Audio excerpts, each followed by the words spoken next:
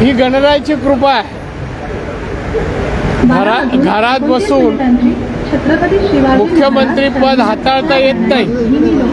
अडीच वर्षात महाराष्ट्र किमान दहा वर्ष मागे गेलेला आहे.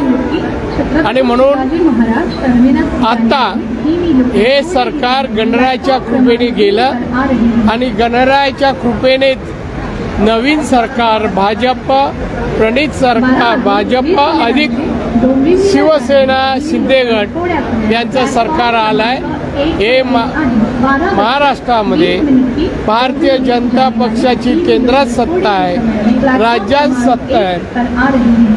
राज्य सर्वांगीण विकासाकडे वाटचाल करेल असं मला विश्वास वाटतो. आता आवाज कोणाचा याला उत्तर मिळालेलं आहे? सरकार गेलं म्हणजे आवाज गेला. शिवसेना कुठे आहे? किती आमदार आहेत त्यांच्याकडे? शिंदे गटाकडे मोर दॅन म्हणजे चाळीसपेक्षा जास्त आमदार गेलेत आणि उरलेले लवकरच जातील ऑन दी वे आहेत. त्यामुळे आता शिवसेना ठाकरे यांचा काही अस्तित्व आणि आवाज राहिला ना नाही आहे शिवाजी पार्कवर काय बोलणार?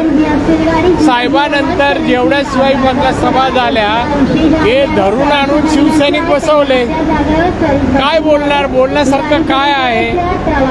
आणि त्यामुळे ही शिवसेना संपलेली आहे.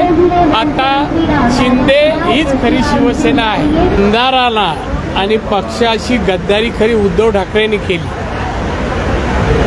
मुख्यमंत्री पद हे गद्दारी करून मिळवलं. एक तर भारतीय जनता पक्षाची गद्दारी केली.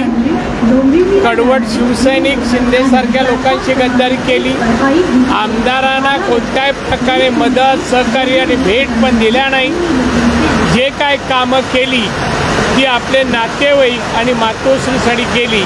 त्यामुळे खरी गद्दार गद्दार उद्धव ठाकरे आहे.